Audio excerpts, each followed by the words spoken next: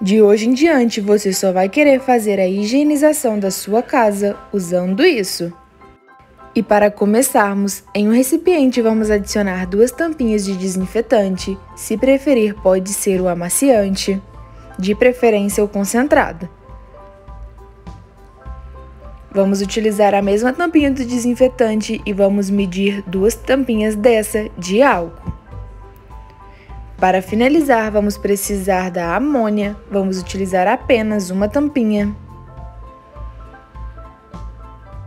Vamos dar uma leve misturada. E logo em seguida vamos precisar de um lenço umedecido. A marca fica a seu critério, pode ser a mais em conta.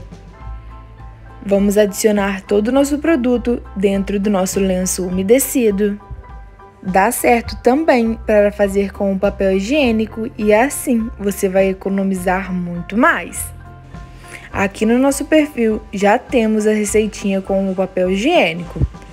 Agora vamos fechar e vamos misturar tudo isso muito bem e apertando para que o produto encaixe em todas as folhas do nosso lenço umedecido.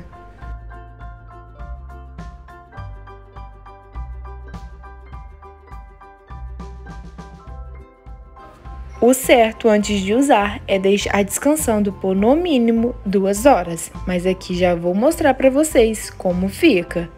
Vamos retirar. Não precisa de muito, apenas um lenço dá super certo para limpar uma mesa completa. E o melhor, você vai poder limpar cozinha, sala e principalmente os seus banheiros.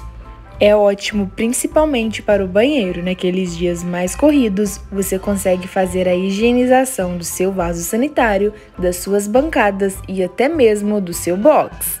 E como vocês podem ver, o modo de usar é muito fácil. Após passar no local desejado, é só esperar alguns minutos para secar e você vai ter um local limpo, cheiroso, higienizado e sem contar que esse produtinho também vai desengordurar por conta da amônia. E essa foi mais uma dica aqui do Pobre na Cozinha. Eu espero que tenham gostado. Um forte abraço e até a próxima!